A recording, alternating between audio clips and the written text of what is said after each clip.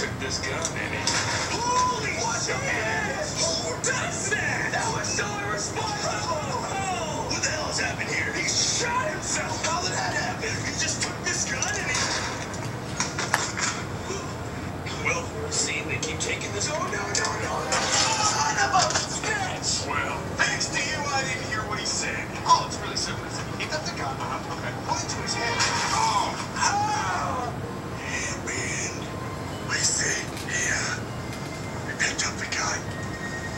Yes.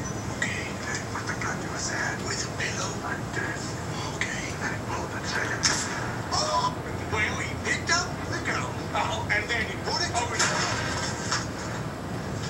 No, that's not right. I hate this job.